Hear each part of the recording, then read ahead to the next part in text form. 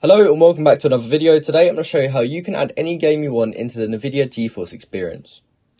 So to start with, you just want to go onto NVIDIA's website like I'm on here and download this if you haven't already got it downloaded. Now once you've got that downloaded and it's all set up, the first thing I would recommend to do is to actually make sure the game you want to add is already on here.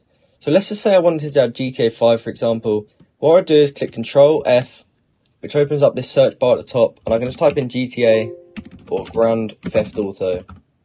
And as you can see, GTA 5 is on there, so I know I'm good.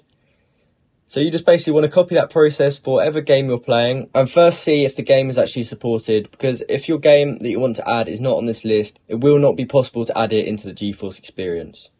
So to start with, you just want to open up the GeForce experience. As you can see, it shows my games already because I've already got it set up. If you had a new game and it weren't automatically added to this yet, I'm going to show you how to do that now.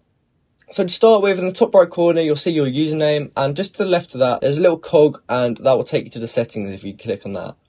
Now, once you've clicked on that, on the left-hand side, there's four different tabs, and one of them is Games and Apps, so we're just going to go ahead and click on that.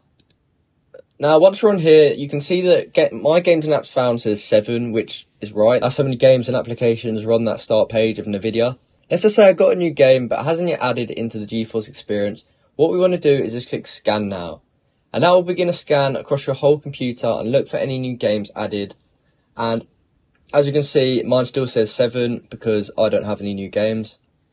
But if you did have a new game, it would update, it would automatically add into the GeForce experience. You would see your game and it would be on this start page here. So I hope you found this video helpful and I hope you can now see all of your games inside the NVIDIA GeForce experience. If you can, please comment down below that it worked and like and subscribe for more. Thank you for watching.